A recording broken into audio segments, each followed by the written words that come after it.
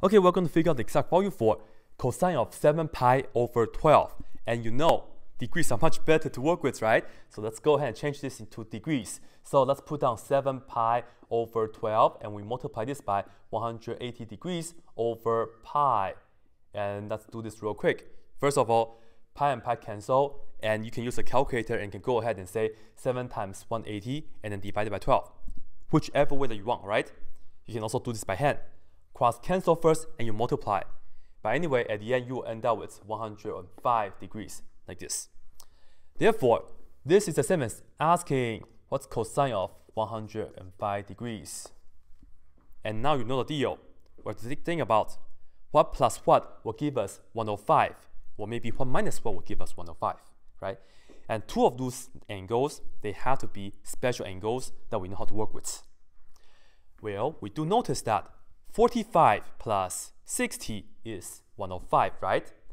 In another word, I can break this down as cosine, and let's put on the 45 degrees first, and then plus 60 degrees.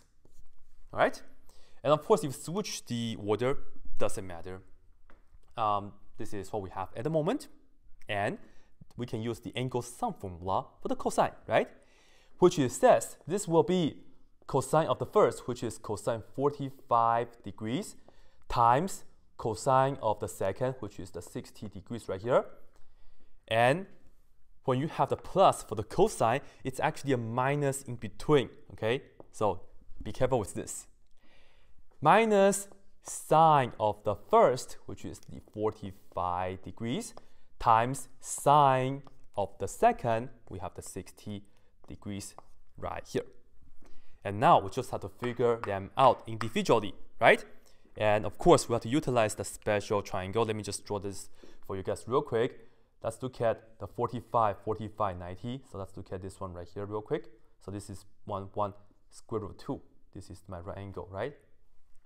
And I also need to have the 60 degree angle. So let me just do this real quick for you guys. This is my 60 degrees, right? And then triangle right here, that means the right angle, 1, and this is square root of 3, and this is 2. Right. So now we'll see cosine of 45. Look at this triangle. Cosine is adjacent over hypotenuse, 1 over square root of 2. Namely, we can rationalize the denominator and we'll end up square root of 2 over 2, right? Here. Times cosine of 60. Look at this.